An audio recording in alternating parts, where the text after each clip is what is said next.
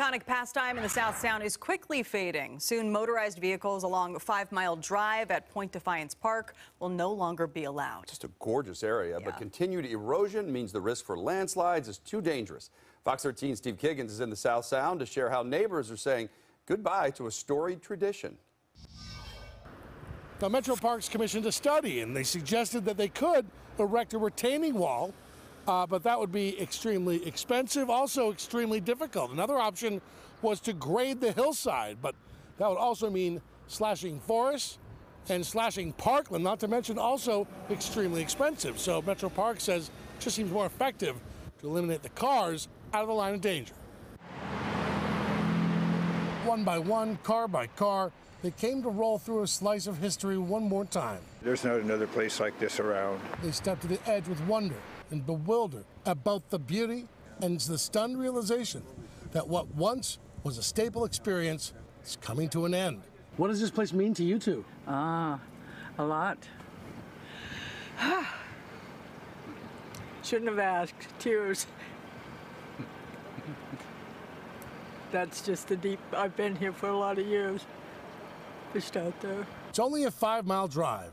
It's a short ride, but the memories run deep for so many. Nothing lasts forever. The same forces that shaped Point Defiance now erode its cliff sides, threatening the road and driver's safety.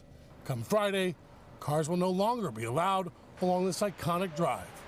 It's part of our operational duty and responsibility to make sure that that erosion doesn't, uh, you know, put the public at risk as they use the park.